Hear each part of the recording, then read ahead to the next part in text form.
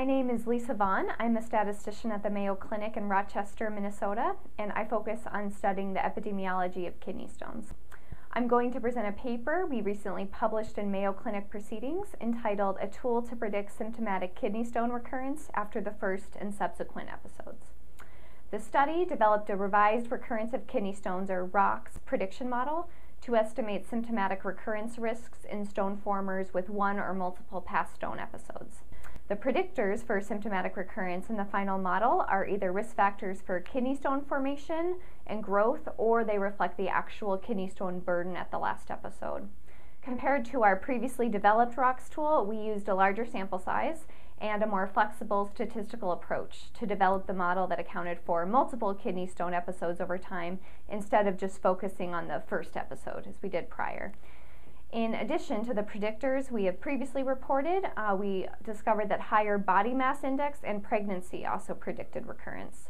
Obesity is an established risk factor for kidney stones that may increase the risk of recurrence via hypercalciuria or via insulin resistance with lower pH and uh, citrate.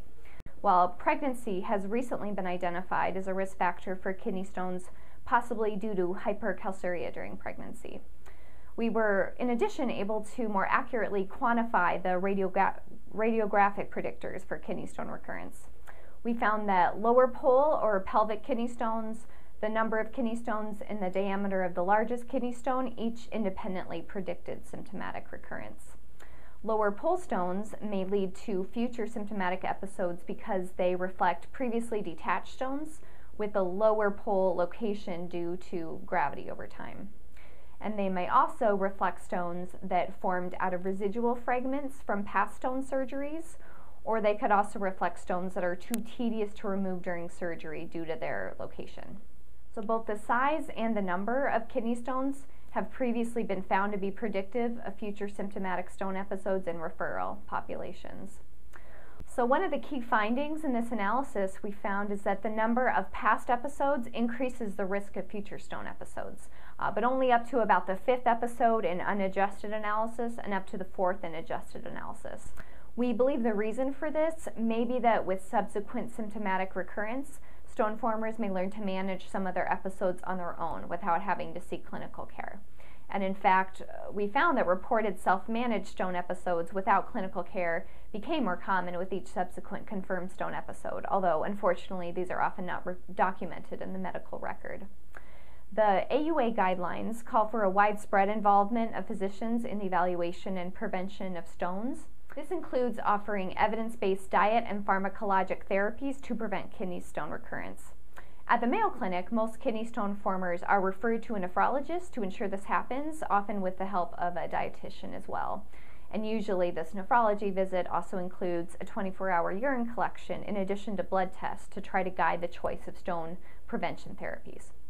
However, in many other institutions, stone formers are managed by urologists for stone surgeries and their primary care provider for stone prevention who may lack the expertise in stone prevention therapies. So, this ROCKS tool we developed can be used by any provider to assess the risk of kidney stone recurrence, not just nephrologists. This tool can be used to guide the management of stone formers by individualizing preventative interventions based on the risk of symptomatic recurrence. For example, a patient at low risk of recurrence may be advised to focus only on drinking more water, whereas a patient at high risk of recurrence may be advised to consider stone prevention medications such as potassium citrate. This tool can also be used to estimate symptomatic stone event rates in clinical trials on kidney stone prevention. And this will allow investigators to more accurately assess the risk of recurrence and to determine the number of patients that they need to recruit. So, most patients with kidney stones undergo limited evaluations as to the cause of their kidney stones, and few actually receive preventative therapy. This prediction tool, we hope, will help identify kidney stone formers at the greatest risk for a subsequent symptomatic episode, who may then benefit most from medical evaluations and more aggressive intervention to prevent kidney stones.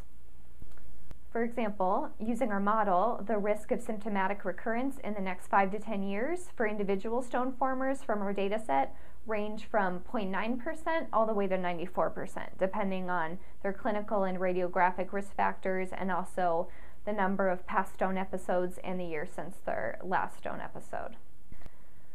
So external validation is definitely needed. This will help determine if there are regional or ethnic differences in how this ROCKS tool performs at other locations and in other populations. Also, future studies are needed to determine whether the risk factors identified in this ROCKS tool predict kidney stone episodes that are self-managed or are detected by changes in kidney stone burden across CT scans over time, in addition to the seen or symptomatic stones, which we focused on in this study. Thank you for your interest in our study. We hope you will find the information useful in your practice, and we hope you enjoy reading the article. We hope you found this presentation from the content of Mayo Clinic Proceedings valuable. Our journal's mission is to promote the best interests of patients by advancing the knowledge and professionalism of the physician community. If you are interested in more information about us, our homepage is www.mayoclinicproceedings.org. There you will find access information for our social media content, such as additional videos on our YouTube channel or journal updates on Facebook. You can also follow us on Twitter.